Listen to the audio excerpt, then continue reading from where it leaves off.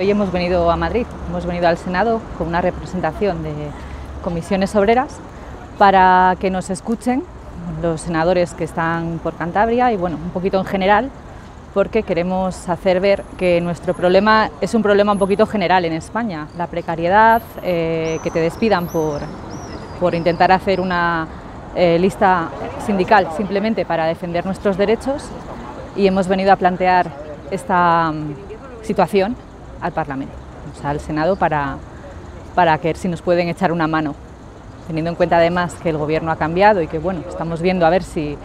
con este nuevo Gobierno pues hay oportunidad de, de cambiar todas estas cuestiones de la reforma laboral que nos están afectando a nosotros tan directamente y tan negativamente. A pedir a los senadores que por favor tengan en cuenta que la reforma laboral nos ha hecho mucho daño, que es muy necesaria la negociación colectiva y que necesitamos eh, pues alguien que nos ayude y nos respalde para conseguir que nuestras condiciones de trabajo dejen de ser precarias y muy pobres.